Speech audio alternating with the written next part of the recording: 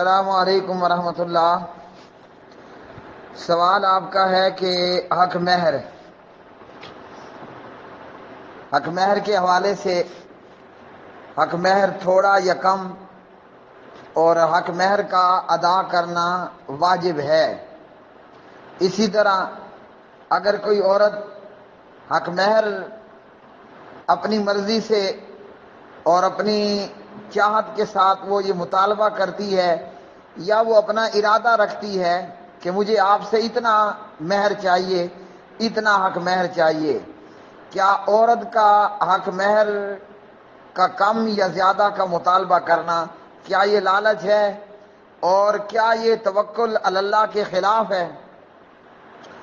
تو جواب یہ ہے کہ حق مہر کا ادا کرنا واجب ہے۔ اور حق مہر، یہ عورت کا حق ہے، عورت ہی کو لینا ہے، کسی اور کا اس میں کوئی حق نہیں ہے۔ اس لیے عورت کم یا زیادہ جتنا بھی حق مہر مانگنا چاہے وہ مانگ سکتی ہے، اور جو اس سے شادی کرنا چاہتا ہے، تو وہ اگر طاقت رکھتا ہے تو حق مہر ادا کرنے کی حامی بھر لے۔ اور اگر وہ اس قدر حق مہر نہیں دینا چاہتا یا اس قدر حق مہر دینے کی طاقت نہیں رکھتا، تو پھر صاف بتا دے اور انکار کرے کہ میں اتنا حق مہر نہیں دے سکتا۔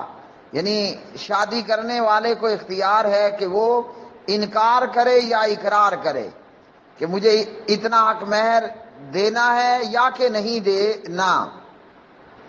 اور عورت کا حق مہر مانگنا یہ نہ لالچ ہے نہ یہ توکل اللہ کے خلاف ہے۔ حق مہر کو ادا کرنا خامن کے دلہے کے ذمے واجب ہے۔ اعوذ باللہ من الشیطان الرجیم۔ سورت النساء۔ اللہ سبحانہ و تعالیٰ فرماتے ہیں پارہ نمبر چار میں۔ وَآتُ النِّسَاءَ صَدُقَاتِهِنَّ نِحْلَةً۔ اور عورتوں کو ان کے مہر خوشی سے دے دو۔ مہر کو الصداق بھی کہتے ہیں۔ سواد پر زبر اور زیر دونوں طرح سے یہ پڑھا جا سکتا ہے۔ یعنی الصداق یا الصداق، دونوں طرح اس کو پڑھنا درست ہے۔ یہ الصداق یا الصداق صدق سے ماخوذ ہے۔ یعنی شور اس کے ذریعے سے اپنی دلہن کے لیے سچی رغبت اور اخلاص کا اظہار کرتا ہے کہ مجھے تم سے سچی رغبت ہے اور اخلاص رکھتا ہوں۔ اور یہ لفظ الصداق یا لفظ مہر سات طرح سات طرح سے پڑھا گیا ہے۔ اسے صداقن بھی کہا گیا، اسے مہرن بھی کہا گیا، نہلتن بھی کہا گیا، فریضتن بھی کہا گیا، اور ہباؤن بھی کہا گیا، اجرن بھی کہا گیا، اور اس کے علاوہ۔ تو اس کا ادا کرنا واجب ہے مرد کے ذمے خامند کے ذمے۔ ایک اور مقام پر اللہ سبحانہ و تعالی سورت النساء ہی میں فرماتے ہیں فمستتا تم فَمَسْتَطَعْتُمْ بِهِ مِنْهُنَّ فَآتُوهُنَّ أُجُورَهُنَّ فَرِيضًا وَلَا جُنَاحَ عَلَيْكُمْ فِي مَا تَرَاضَيْتُمْ بِهِ مِنْ بَعْدِ الْفَرِيضَةِ۔ پھر جن سے مہر کے عوض تم فائدہ اٹھاؤ، انہیں ان کے مقرر کیے ہوئے مہر دے دو۔ اگر تم مہر مقرر کر لینے کے بعد اس پر باہمی رضا راضی ہو جاؤ یعنی کمی پیشی میں، تو تم پر کوئی گناہ نہیں ہے۔ اور اسی طرح سورہ الممتحنہ کے اندر فرمایا، وَلَا جُنَاحَ عَلَيْكُمْ أَن تَنْكِحُوهُنَّ اِذَا آتَيْتُمُوهُنَّ أُجُورَهُنَّ۔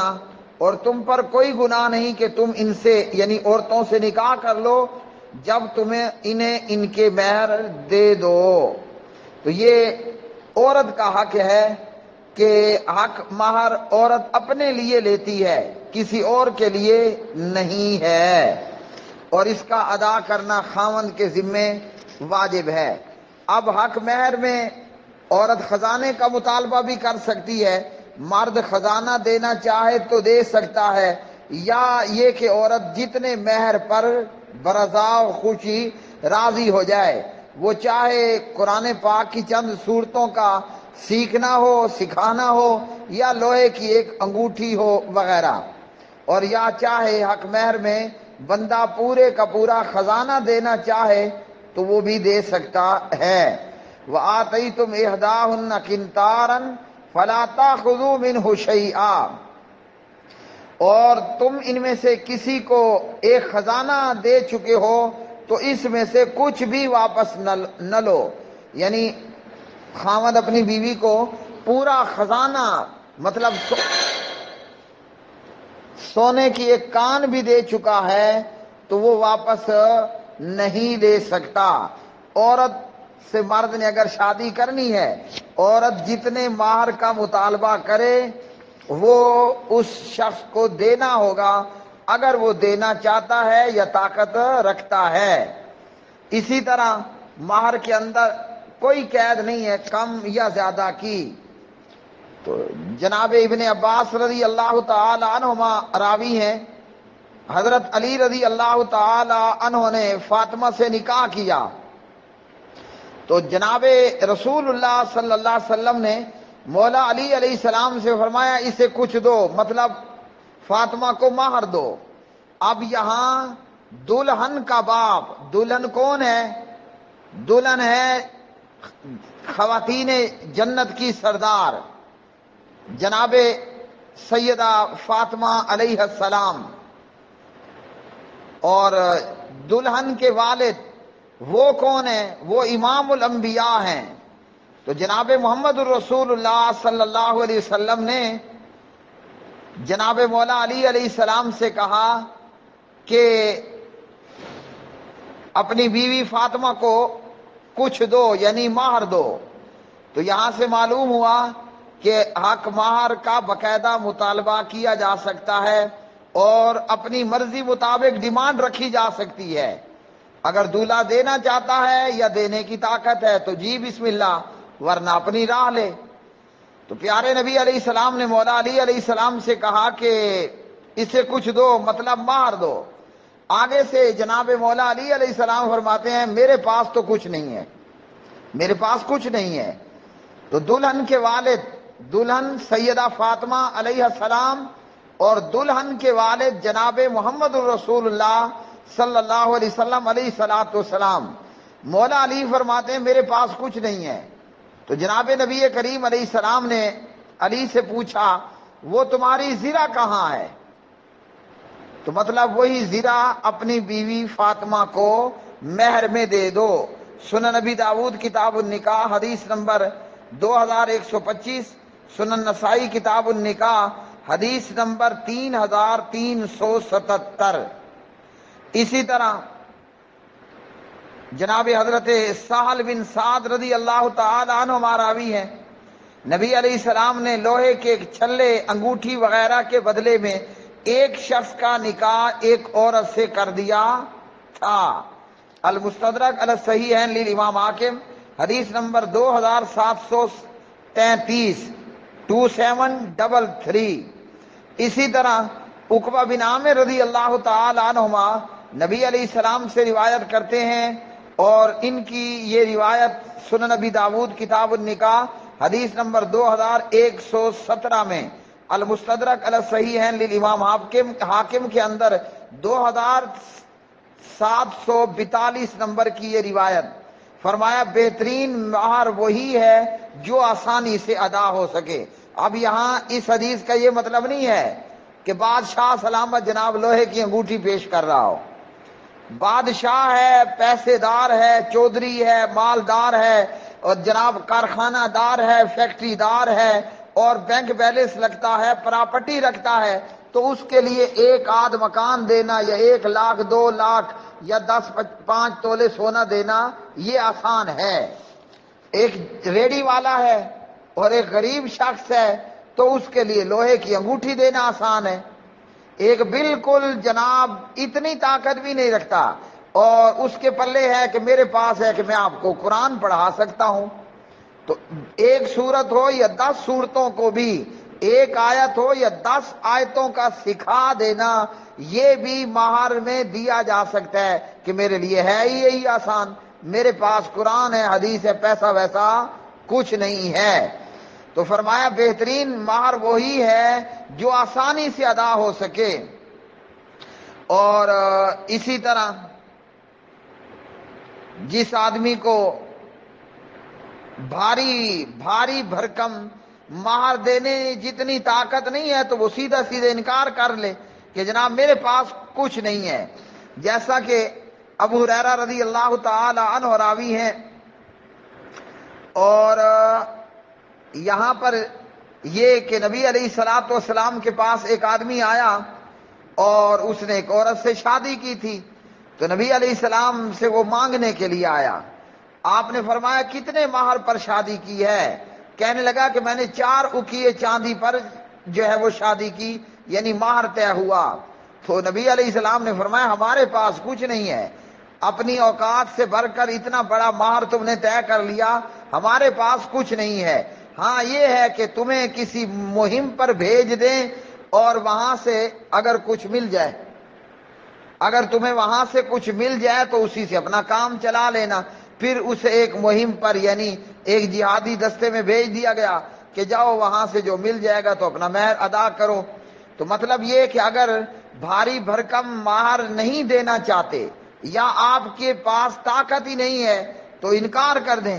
اور اپنی طاقت مطابق ہی مہر جو ہے وہ قبول کریں۔ یعنی اس پر آپ ایگری ہوں، تیار ہوں۔ رہ گیا معاملہ سوال میں کہ کوئی عورت اگر حق مہر کا مطالبہ کرتی ہے اور دولہے کے پاس یعنی جو شادی کرنا چاہتا ہے، وہ اس کے ادا کرنے کی طاقت بھی رکھتا ہے۔ آیا یہ عورت کا مطالبہ کرنا لالچ کہلائے گا؟ جواب ہے کہ لالچ ہرگز نہیں کہلائے گا۔ آیا یہ عورت کا مہر کا مانگنا وہ کم ہو یا زیادہ ہو؟ دلہا کی رینج میں ہو یا رینج سے باہر ہو؟ کیا یہ توکل اللہ کے خلاف ہوگا؟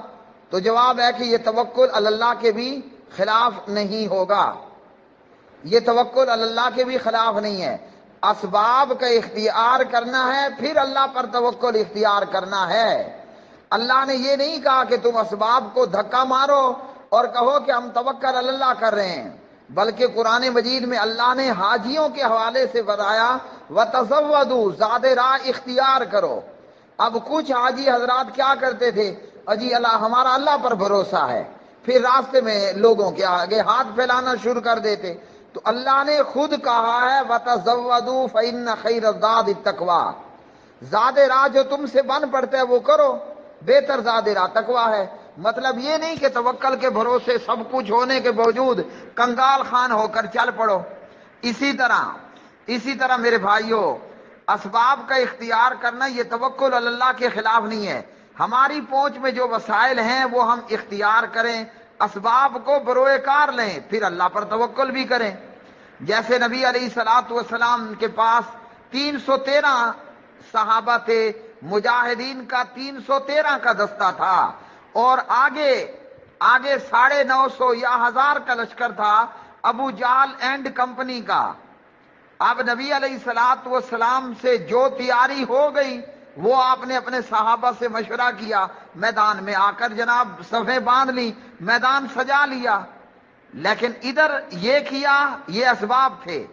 اور ادھر اللہ کے سامنے اپنے دونوں ہاتھ اٹھائے۔ اپنے ہاتھ پھیلا دیے اور اللہ سے ان تین سو تیرہ کی کامیابی اور کامرانی کا سوال کیا اور دعا کی۔ اور اسی طرح قرآن مجید میں سورت الانفال ہے، پارہ نمبر دس کے اندر من خود اللہ نے یہاں اس آیت میں حکم دیا، کافروں مشرقوں سے لڑنے کے لیے تیاری کرو۔ جو تمہاری طاقت ہے، اپنی طاقت مطابق تم ان کے لیے تیاری کرو۔ اب نبی علیہ السلام کو تیاری کیا ہوئی؟ بدر میں تین سو تیرہ۔ اور آگے ہم دیکھتے ہیں تو عود کے اندر ایک ہزار کا لشکر ویسے لے کر چلے تھے، لیکن عبداللہ ابن ابئی ابن سلول اپنے تین سو بندوں کو لے کر پیچھے کھڑا ہو گیا۔